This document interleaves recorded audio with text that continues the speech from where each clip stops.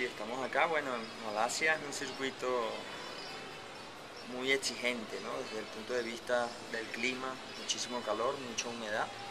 No solamente para el piloto, sino también para el auto y, bueno, una pista que se las trae. Tiene de todo, es un circuito mixto, curvas lentas, rápidas y medias, y donde el balance del carro cuenta muchísimo. Bueno, después de un comienzo bastante difícil en, Australia, yo espero que acá en Malasia podamos conseguir los problemas que, que tuvimos el fin de semana pasado, solucionarlos y ser competitivos. El objetivo es estar en los puntos entre los 10 primeros.